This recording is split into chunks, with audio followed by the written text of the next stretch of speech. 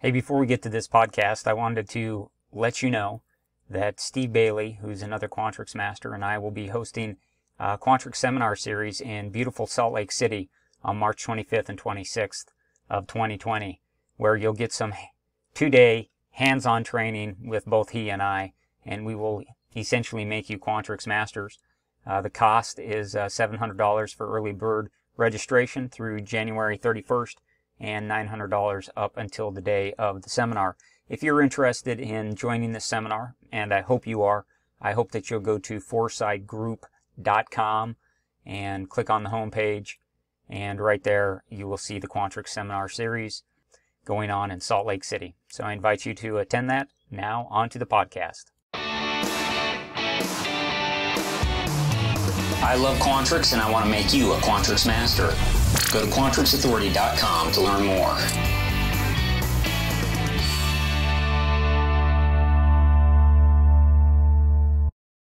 Hey, welcome back to another Netcast. I'm Rich Lopez, Quantrix Authority. I sincerely appreciate you joining me today for episode number 302, where I'm going to show you how to aggregate indirectly related matrices with using as. This is kind of building off of what I showed you in episode 300 as well as episode 301 and another way that you could solve the problem that I presented there in episode 300.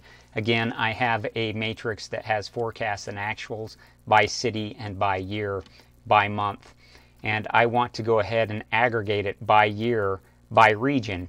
And I have a table that maps the city to the appropriate region. So again, I want to aggregate over here my values found over here, say for forecast. So I showed you how you can do that in the previous episodes by using a select and select list and using some silent functionality. But if you didn't want to use the silent functionality because maybe you're you didn't really care about your model size or whatever, you could go ahead and you could really use just the simple using as statement with a helper cell, if you will. So what I mean by that is I'm going to go out here and I'm going to say that the solution is equal to is equal to sum and what I want to sum is I want to sum the forecast here. And I want to link items to categories with my using as. Using items, my region here is my item here, as my region here. And if I go ahead and do that, you may be tempted to try that and you'll get a pound size error. And the reason why I get a pound size error again is because it's only looking at an array of eight regions here, whereas this array has all of the cities, all of the months, and all of the years. So I'm still getting my pound size error. So if I want to use a using as in this situation, what I need to do is I need to create a helper cell over here in my data matrix. I'm going to call it I'm going to call it region helper. Okay? And my region helper is simply equal to my region here. And the reason why I can do that again is because city is linked here.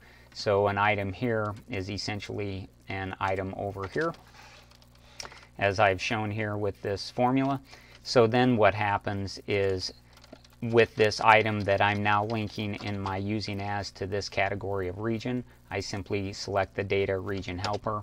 And if I go ahead and I do that and I perform some aggregation on it, then you can see that for region 1 I have 1217. So region 1 is Tabletop and Oak City. So if I were to go here and I were to take my type up here, look at forecast, and do 2023 tabletop in Oak City, I get uh, 1217.7, and indeed that is what I'm getting here. If I were to do that for 2024 uh, and sum those values, would I get 1475.1? Yes, I am for 2024. So again, a simple using as with a helper cell is uh, maybe easier to understand than the select list or the select with the silent features that I was showing in the previous two episodes. I came across using the silent and the select list, I think at the start of this last year, 2019.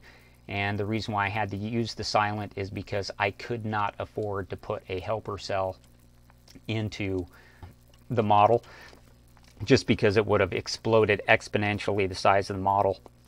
So if you're concerned about the size of your model or the size of your matrices, I would recommend not using necessarily a helper cell. Go ahead and use that select and that at silent functionality that I showed you. But if you really don't care about the size, a simple helper cell with a using as will do the trick.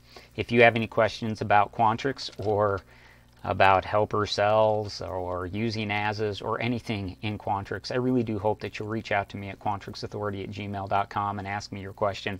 I absolutely love Quantrix. Makes my day every day I get to use it, and I want to make you a Quantrix master. So please join me again for another episode of Quantrix Authority with Rich Lopez. Today's podcast is brought to you by QuantrixAuthority.com. I love Quantrix, and I want to make you a Quantrix master.